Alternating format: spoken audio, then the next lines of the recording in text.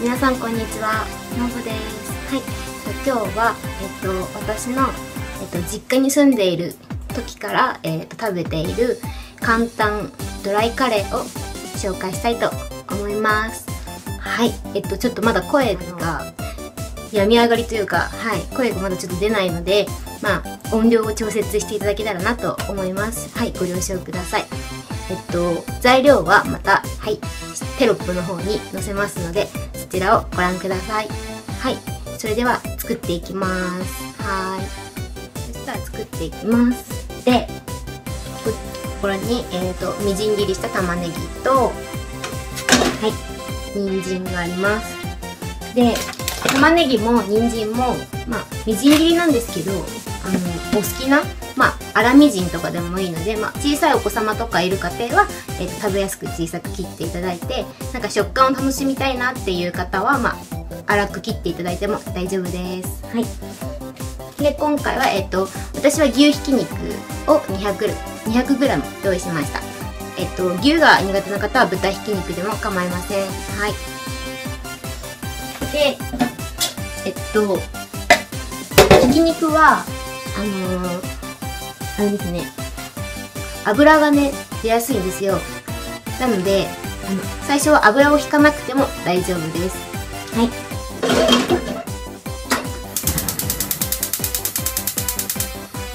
でなるべくだったらこういう深めのフライパンがありましたら深めのフライまあ焦げにくいようなものの深いものを使うのがおすすめです。はいでフライパンが温まってきたらえっ、とひき肉から入れていきます。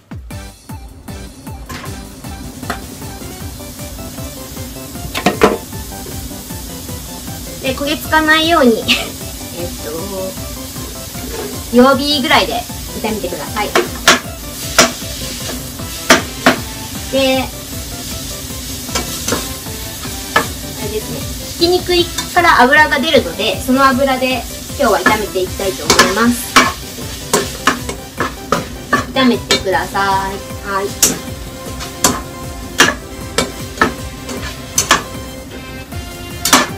でひき肉がちょっとあの炒まってきたらはい。人参と玉ねぎ両方入れてください。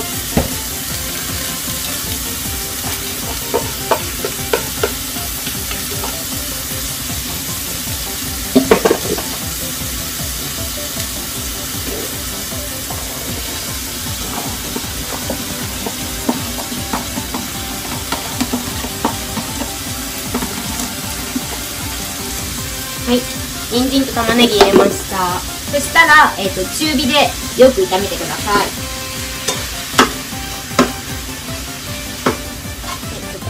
はい。玉ねぎを炒めていくと、えっと、玉ねぎから水分が出るので、はい、よく炒めてください。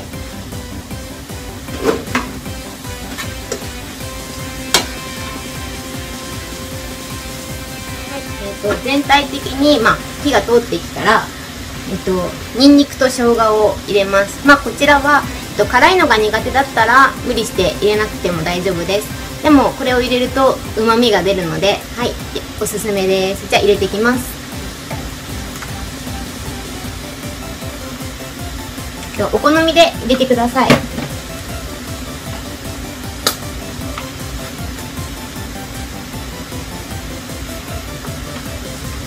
したらまたよく混ぜていきます。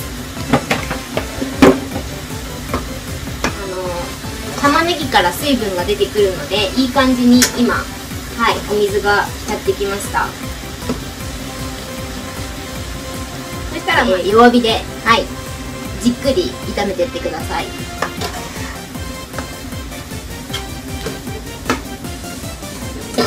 そしたら今じっくり炒めててちょっと水分が出てきました。でもちょっとこれだと水分がちょっと足りないので、えーと、お水を200ぐらいですね。200cc ぐらい入れてください。ちょっと玉ねぎによってあのそうですね種類によってとか水分の出方が違うのでとそれはちょっとあの皆様の判断で見ていただければと思います、まあ、大体具が浸るぐらいですね。具が浸るぐらいにお水を入れていただければと思います。はい。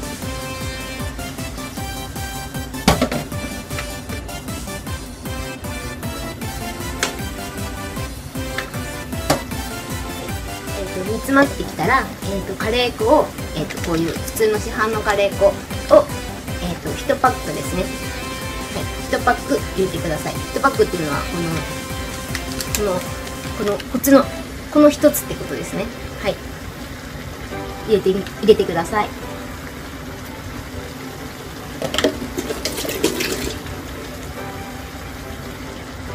そしたら、えー、弱火でちょっとグツグツ煮ていきます。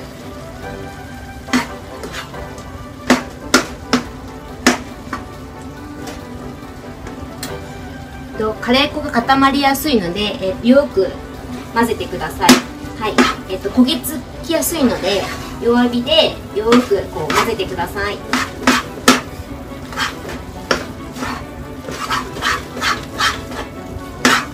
水分が足りないなって思ったら、えっ、ー、と牛乳で、えっと薄めてってください、まあ、ここはお好みで調整でやってください。で牛乳を入れていきます。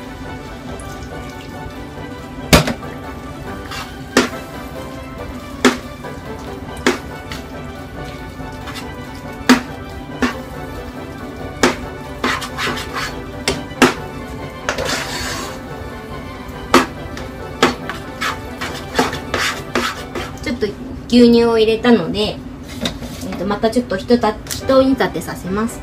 そしたら、えっ、と、今度このクミンっていうあのスパイスなんですけどクミンを少々入れていきます。まあこれがなかったら入れなくても構いません。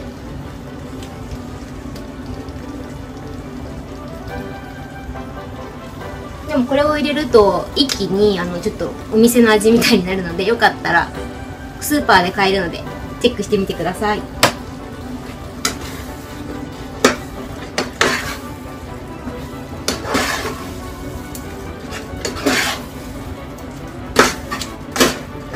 とても焦げ付きやすいのでよくあの混ぜながら炒めてください。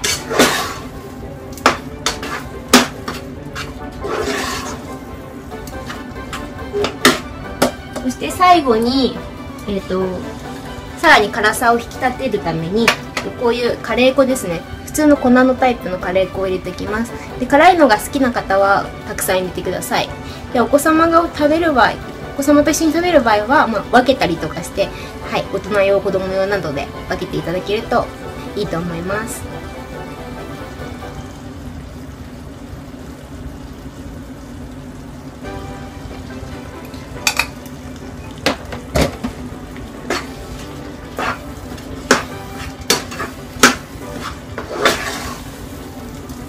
で一気にこのカレー粉のやつを入れるとスパイシーになるので、はい、食がはい増します。美味しそうです。で焦げ付きやすいので弱火で。はい。で最後にちょっとコクを出すために、えっと、ケチャップですね。何でもいいのでトマトケチャップを入れていきます。まあ分量としてはえー、お好みなのですがまあ大体大さじ1ぐらいではい入れてみてください。まろやかなものがお好きな方はトマトの、はい、ケチャップが多めでも大丈夫です。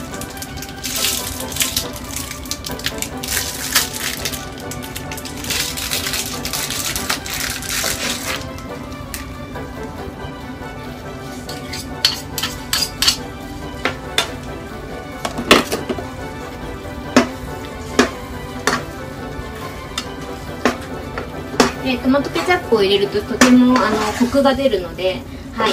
おすすめです。で最後に、えーと、味の調整でまあ胡椒と、はい、お塩と醤油を入れていきます。でこれは本当にお好みなので、えー、味見しつつはい入れてってください。お塩とはいこの辺の最後の調味料はちゃんと自分の味に合ったようにお好みでお入れください。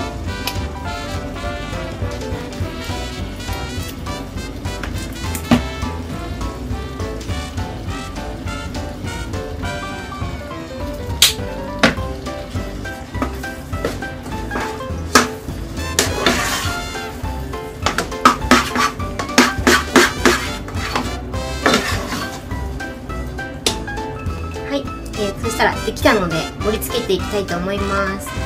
でえっ、と付け添いに、えっと、ゆで卵なゆで卵とか目玉焼きを作って、えー、たりあとはお好みで生卵の黄身だけをのせたりすると美味しいのでよかったらえっ、ー、とそうですねカレーを作ってる間にゆで卵とかはい目玉焼きを作ってみてください。はいそしたら盛り付けてみます。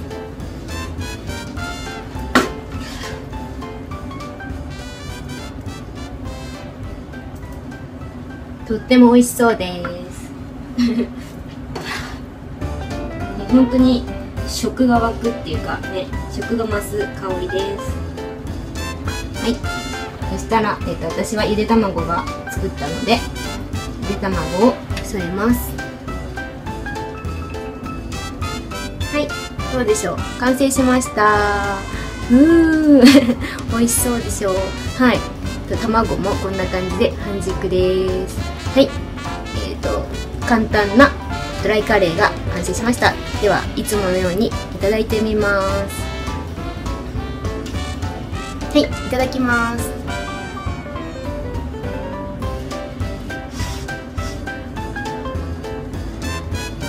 うんうんうん。とってもスパイシーではい。これですんごい体力がつきそうです。風も。はい治治りそうですねはいね、お子様とかいる方は、まあ、ちょっと牛乳入れたりとかして、はい、あと辛いのが苦手な方だったりするは、はいえー、牛乳などを入れてちょっと調節してみてください。はい、で、えっ、ー、と冷蔵で保存する場合は、えー、4日ぐらいがめどで食べていただきたいと思います。で冷凍で保存する場合は1ヶ月持つと思います。はいで、えっと、このカレーを使えば、えっと、ご飯にこのカレーをのせてチーズをとろけるチーズなどをのせてオーブンで焼けばカレードリアなどもできるのではいよかったら作ってみてください。はい。はい美味しいです。はいもう一回いただきます。